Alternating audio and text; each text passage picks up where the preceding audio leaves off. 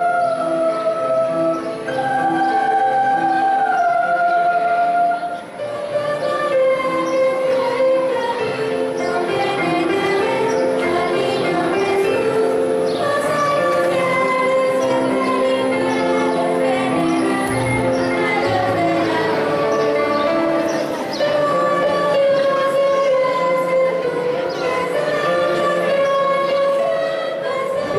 El Ayuntamiento Constitucional de San Juan de los Lagos espera que este año sea de dicha, de felicidad, de compañía de toda su familia, que Dios nos dé salud, que Dios nos dé integridad familiar.